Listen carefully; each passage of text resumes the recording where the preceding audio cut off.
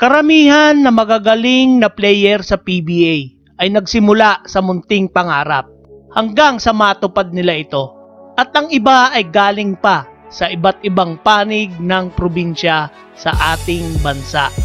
Kagaya ng ating bida ngayon, Kenneth Silera Doremdes, isa sa pinakamahusay na manlalaro noong dekada 90 at tinatawag din na Captain Marbel ng PBA. Tara't samahan nyo akong alamin ang kanyang basketball career. Pero kung sakaling magustuhan nyo ang kagaya ng ganitong topic ay please like, comment, share, and subscribe. Kalabitin mo na rin yung notification bell para ikaw ang kauna-unahang ma-inform kapag meron akong bagong upload.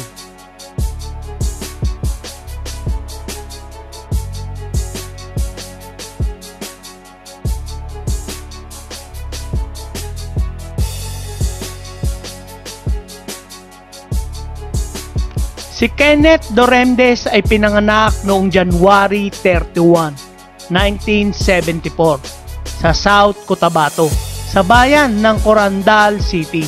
Bata pa lang ay nakahiligan na niya maglaro ng basketball at na-discover ito ni Mr. Angel Patrimonio, ama ni Captain Alvin Patrimonio. Dahil iisang probinsya lang sila ng ama ni Alvin Patrimonio.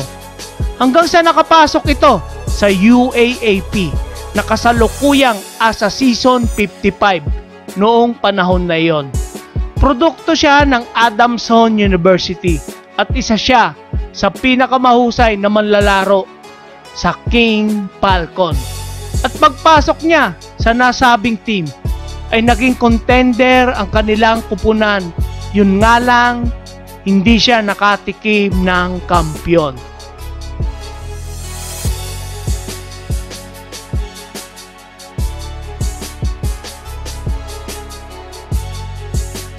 Taong 1993 ay pumasok na ito sa PBL sa kupunan ng Burger Machine. At dito lalong nagpakita ng husay sa kanyang kinahiligan na basketball. Dito rin niya nakuha ang award na Rookie of the Year at isa rin siya sa player na tumulong upang makuha ng Burger Machine ang kampyon nila noong 1994 under Coach Perry Ronquillo.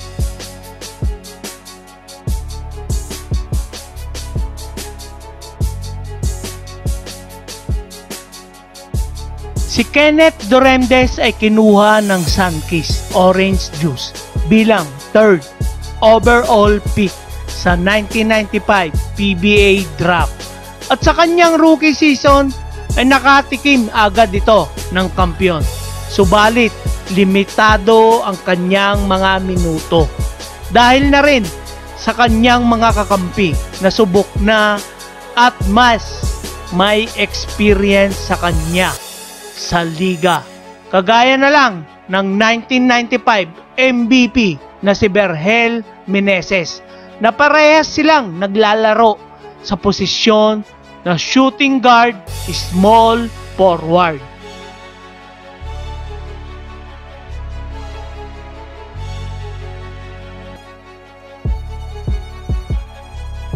Kalaunan ay napalitan ang pangalan ng kanyang team from Sunkist Orange Juice na naging Pop Cola 800. Pero limitado pa rin ang kanyang mga minuto.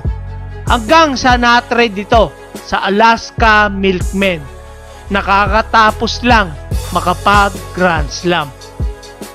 Pagkalipat niya sa Alaska Milkmen ay kaagad itong nagpakita ng husay na animong mabangis na hayop na nakawala sa kanyang pagkakakulong.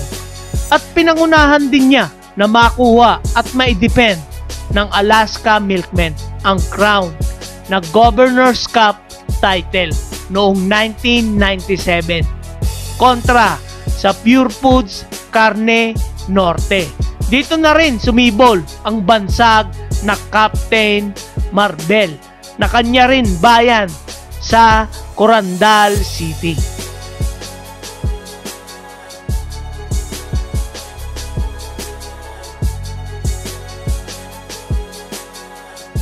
Taong 1998 ay hindi nagpaawat etong si Kenneth Doremdes at siya rin ang nanguna sa kanyang kupunan na Alaska Milkmen.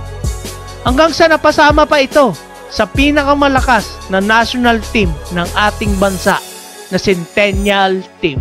Sa taong ito, dito rin niya nakuha ang award na Best Player of the Conference. Hindi lang yan, naging MVP din siya sa edad na 24 years old.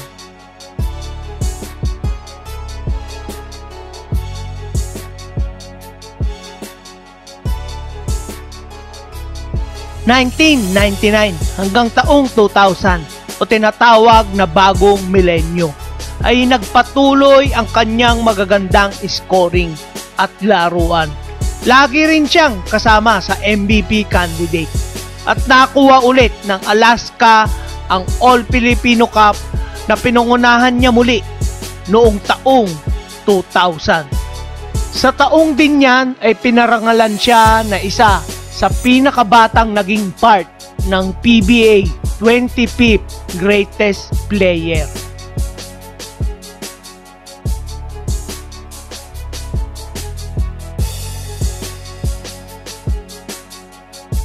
Dahil sa magandang laro na pinapakita niya sa PBA, ay etong Alaska ay pinapirma di umano etong si Kenneth Doremdes ng kontratang nagkakahalaga ng 48 million pesos sa kanyang pagiging free agent. Para lamang hindi malipat ito sa ibang teams, noong nag-rebuild ng player ang Alaska ay kasama pa rin siya ng dating Alaska Milkmen ay naging Alaska Aces noong 2001. Nakasama pa niya ang mga PhilAm na si John Arrigo at Ali Pic noong 2002. Subalit hindi na pinalad ang kanyang team na makakuha ng kampyon sa makabagong Alaska Aces. Taong 2002 din ay muling nakasama ito sa national game sa Busan Asian Game. Maganda din naman ang kanyang pinapakita na laro. Ngunit hindi sila pinalad na makakuha ng kahit anong medalya.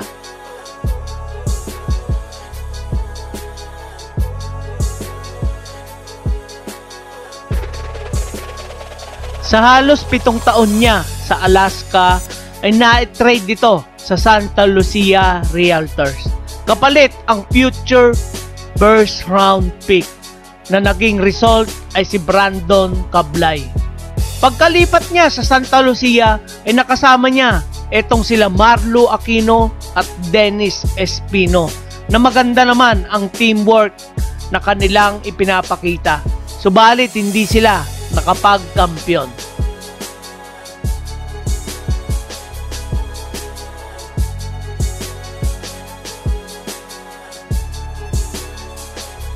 Taong 2004 ay nakaramdam na siya ng injury at halos hindi na siya nakikitang naglalaro o masyado nang maiksi ang kanyang mga minuto na binibigay sa kanya.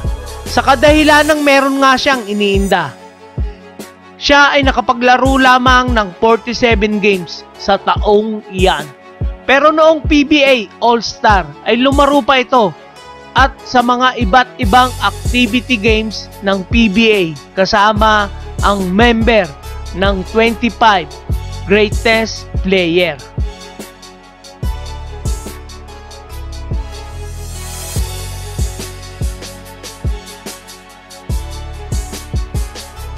Taong 2007 ay natrade dito kasama si Alex Cabagnot at Ricky Kalimag. Kapalit, etong si Manny Ramos at Dennis Miranda papuntang Coca-Cola Tigers. At ayan din ang team na nag-drop sa kanya noong 1995. At dito rin siya naging head coach ng Coca-Cola Tigers. Diyan din nagtapos ang kanyang karir bilang basketball player. At noong March 23, 2012 ay tuluyan nang nagretiro itong si Captain Marvel, Kenneth Doremdes. Ito ang kanyang mga naging award sa buong karir niya sa basketball.